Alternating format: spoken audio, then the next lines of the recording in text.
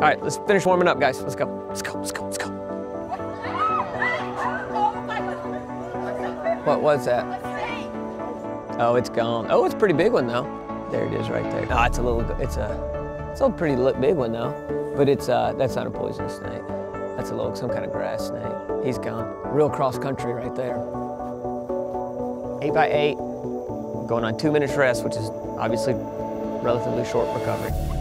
Manage the manage it, meaning do not blast out the first one. This needs to be around 5K, 6K kind of race effort. So manage it, start off, work together. Work, work, work. Very good. Almost to the top. There we go. Great job, Steph. That's a much better hill on that one. Great. Good pack. Pull the pack. Pull the pack. Ready? Go. Let's go. Keep grinding it out. Come on. Time to be tough now. This is when the workout really starts. Halfway through. Stay focused. Big three. Big three to go. Here we go. Ready? Go. This is the part of the this is the part of the race that makes championships. You got to focus on this part of the workout. Last one, best one. Here we go. Downhill from here. That's it. Good job, freshman. Good way to get in there. Let's finish it. Let's finish it. Come on. Show me what the last 400 is going to look like at the SEC meet. Come on. Finish tough. Finish tough.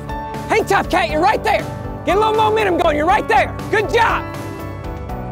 Come on, ladies. Finish it. Good. Good pack. Here we go. Good finish. Good finish. That a girl. That a girl. Nice job, Pack. Nice job. Come on, Emma Tucker. Finish it. Finish it. Good job.